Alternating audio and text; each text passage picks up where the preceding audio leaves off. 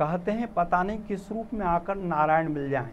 यह पंक्ति राजस्व एवं परिवहन मंत्री गोविंद सिंह राजपूत के पुत्र, आकाश सिंह राजपूत पर चरितार्थ होती नज़र आ रही है। जब लहूलुहान पड़े सड़क के किनारे, दो घायलों को आकाश सिंह राजपूत ने अपनी गाड़ी में बैठाकर तुरंत अस्पताल पहुँचाया, जिससे उनकी जान बच पाई।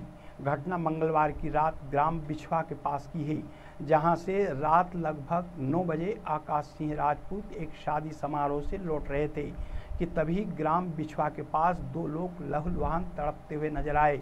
यह देख आकाश राजपूत ने अपनी गाड़ी रोकी तथा दोनों घायलों को अपनी निजी कार से बीएमसी ले गए, जहाँ उनका इलाज जारी है।